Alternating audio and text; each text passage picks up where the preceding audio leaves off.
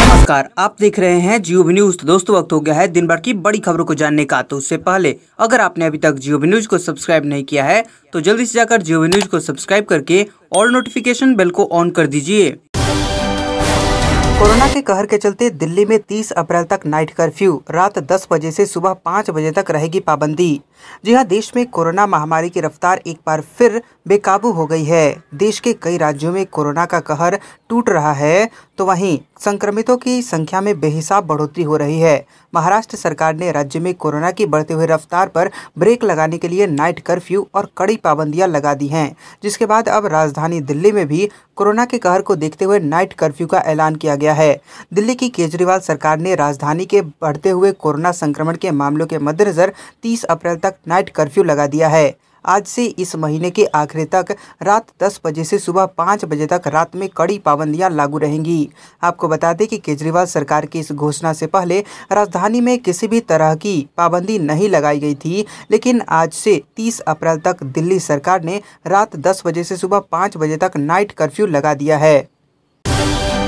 मतदान से पहले टीएमसी नेता के घर पर ईवीएम मिलने से बंगाल की सियासत में उबाल, बीजेपी ने लगाए गंभीर आरोप तो सत्तारूढ़ पार्टी ने किया इससे इनकार।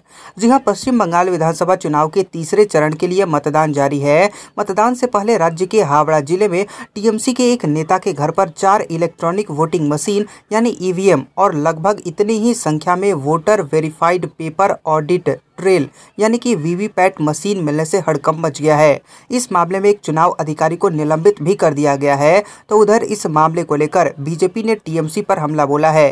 केंद्रीय मंत्री प्रकाश जावड़ेकर ने कहा कि उलूबेरिया में टीएमसी नेता गौतम घोष के घर से चार ईवीएम और चार वीवीपैट मशीन जब्त हुए थे। ये मशीन इलेक्शन ड्यूटी पर रखी हुई कार से आए थे। आज वहाँ चुनाव है, इसलिए चुनाव आयोग ने तुरंत कार्रवाई कर उस मशीन को उपयोग न करने को कहा है। संबंधित अधिकारी को सस्पेंड भी कर दिया है। बीजेपी के वरिष्ठ नेता ने आगे कहा कि इसमें जाँच होने की आवश्यकता है, इसलिए हमारे चुनाव आयोग से मांग है कि वो खुद इसकी जाँच करे और कड़ी कार्रवाई करे, क्योंकि ये चुनाव प्रक्रिया के साथ एक तरह से धांधली है।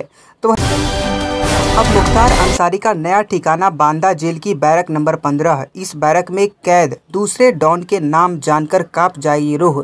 जी हाँ बसपा विधायक मुख्तार अंसारी की पंजाब से यूपी वापसी की तैयारियाँ पूरी हो चुकी हैं। मुख्तार का 26 महीने का यूपी वनवास बुधवार को खत्म हो गया।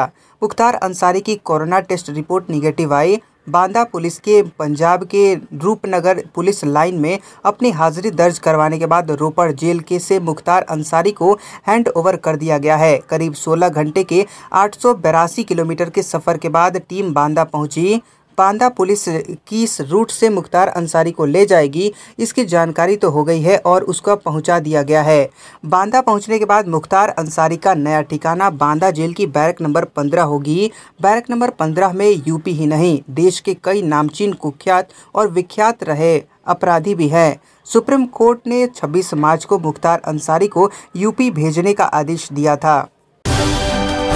दिल्ली में नाइट कर्फ्यू को लेकर कैट का विरोध, कहा, इसका खामियाजा हमें भुगतना पड़ेगा। ऐसे कोरोना रोकना संभव नहीं।